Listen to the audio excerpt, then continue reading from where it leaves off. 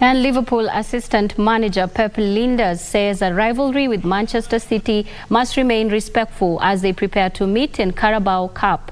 Meanwhile, Erik ten Hag's side managed a win against Burnley, beating them 2-0 in the Carabao Cup at the Old Trafford Stadium, while League One Charlton stand top flight Brighton on penalties after a goalless draw to reach the quarter-finals of the Carabao Cup against the championship high flyers Burnley, a team that has always managed to trouble Manchester United. Goals from Christian Eriksen and Marcus Rashford assured Manchester United a 2-0 win over Burnley to secure a spot in the quarter-finals of the Carabao Cup. Fist for Wan-Bissaka and Eriksen with a simple finish that was made by the athleticism of Aaron Wan-Bissaka.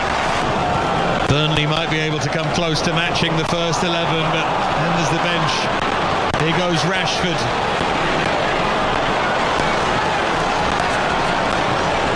Keeps going. Wonderful goal. Back from the World Cup. In another match, Charlton also advanced to the quarter-finals after a 4-3 win over Brighton on penalties, following a goalless full-time draw.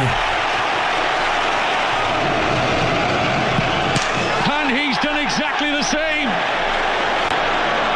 This time the other post. Denied by Maynard Brewer, who suddenly now emerges as the hero. Lavelle scores!